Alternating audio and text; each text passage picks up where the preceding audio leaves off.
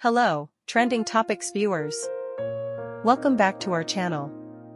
Today, we have an interesting update about director Vivek Agnihotri, known for his impactful films like The Kashmir Files and The Vaccine War.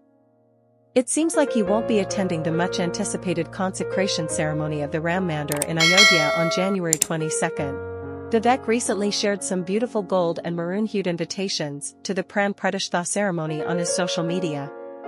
He expressed his surprise at the meticulous planning of the event and mentioned receiving follow-up calls from the office of Chief Minister Yogi Adityanath. While Vivek didn't delve into the details, he did reveal that he won't be able to attend the consecration ceremony due to being out of India on January 22. He expressed his regret, saying, It's unfortunate that I am not being able to attend hashtag Pran Pratishtha as I am not in Bharat on January 22 for some inevitable reason, and only Ramji knows how sad I am.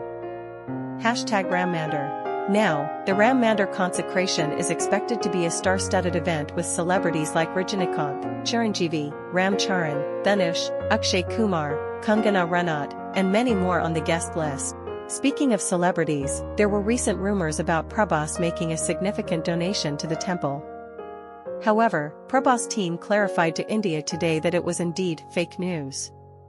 Rumors about him sponsoring food for the attendees were also debunked. As the anticipation builds up, the Ram Temple will be open for darshan for the general public from January 23 onwards, as confirmed by Champat Rai, the General Secretary of Sri Ram Janmabhoomi Tirth Kshetra Trust. And there you have it, folks. The latest scoop on why Vivek Agnihotri won't be attending the Ram Mandir consecration and some debunked rumors about Prabhas.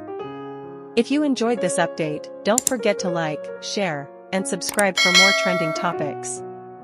Until next time, stay tuned to Trending Topics.